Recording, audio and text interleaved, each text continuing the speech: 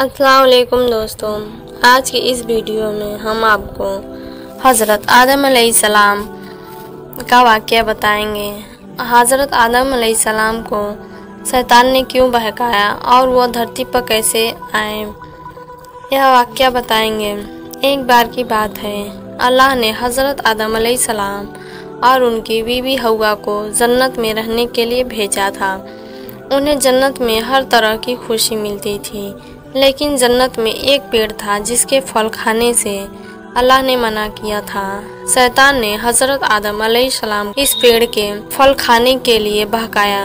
हज़रत आदम सलाम और हवा ने शैतान के बहकाव में आकर उस फल को खा लिया। इसके कारण अल्लाह ने उन्हें जन्नत से निकाल दिया और उन्हें धरती पर भेज दिया।